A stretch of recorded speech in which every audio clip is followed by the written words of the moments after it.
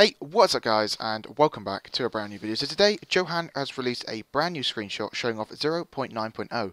Now we know that's been in uh, you know development for a while, um, but he has implemented new grass tiles. This meaning that uh, different colours of grass will now appear you know randomly throughout the world, rather than it just being one you know um, one gradient of sand, one variant of uh, not sand, one variant of grass. So it now becomes different, you know, different variants of grass. So this this could bring in swamps and stuff like that, you know, where uh, witches live. Um, we can maybe see them coming into the uh, 0.9.0 update. That would be really really cool. But first, I want to show you my screenshot. Uh, which you can see throughout this video anyway.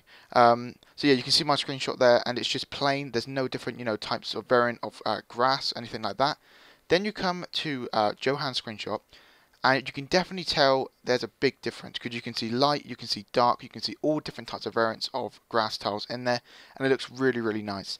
Um, so that's really, really cool. I really, I really like that he's brought that in. Um, this means that you know more things can come into the 0.9.0 update because it makes sense because he can now manipulate grass tiles to make stuff look you know different variants around stuff.